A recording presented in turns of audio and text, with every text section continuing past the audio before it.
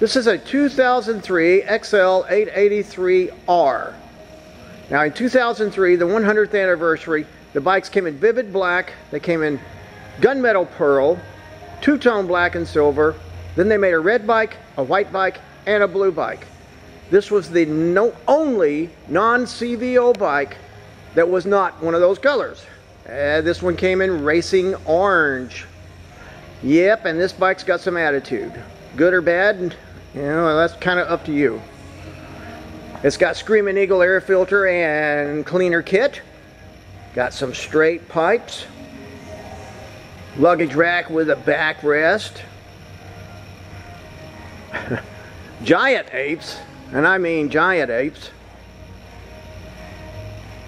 Bike's got a little under 40,000 miles on it. That's not bad for a 15, about to be a 16 year old bike. Yeah, grab a little bit of history with this bike. You won't regret it. Come and see us, see this bike at Salem Harley Davidson right here in Salem, Oregon.